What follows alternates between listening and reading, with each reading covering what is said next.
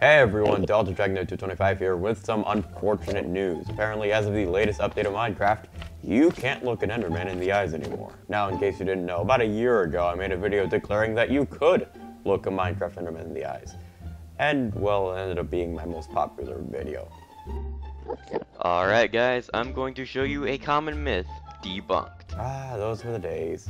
Bandicam, because I didn't know about Plays TV at the time, crappy headset mic quality, and to top it all off, the audio was completely out of sync. Anyway, to test out this supposed fix, I checked by building a house with a glowstone floor, that way the Enderman wouldn't teleport away and couldn't kill me once I did trigger it. Once I went to survival mode and looked him in the eyes, it happened. The Enderman tried to kill me.